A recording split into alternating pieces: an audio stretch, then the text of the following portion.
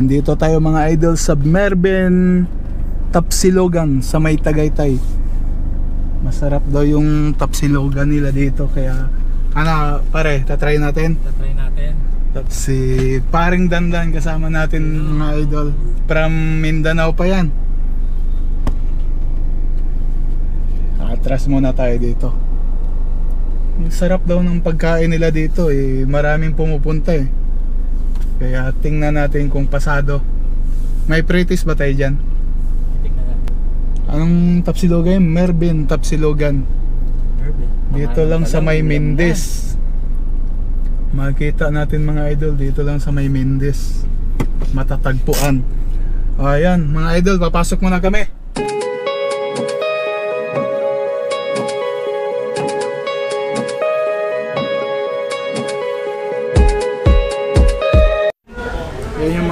Nila dito.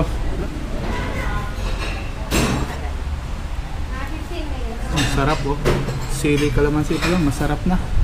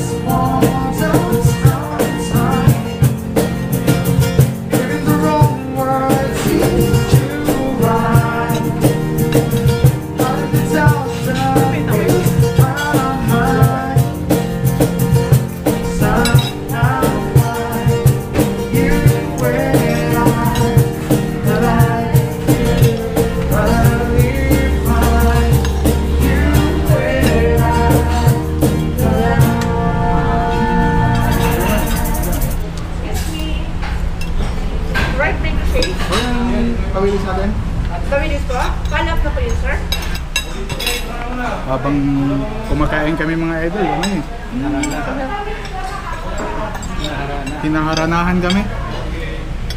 Di ba? Yung kalupit si yung kalupit si Be, Mervin. Mervin Mervin Tulpo.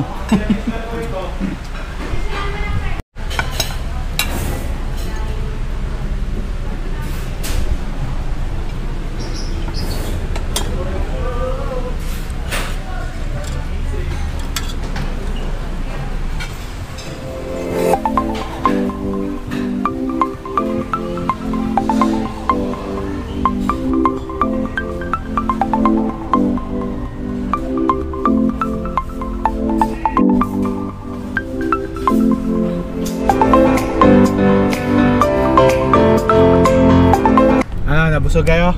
So, salamat sa sponsor. Salamat sa sponsor, Madam. Madam